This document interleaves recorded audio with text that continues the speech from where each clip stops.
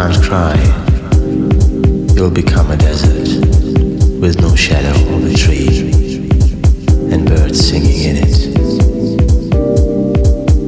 Have you ever tried?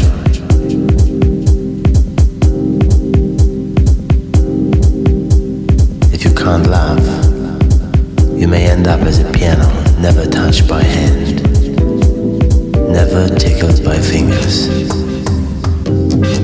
Have you ever tried?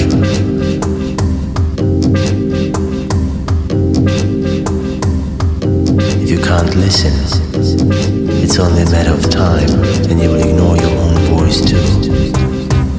Have you ever tried?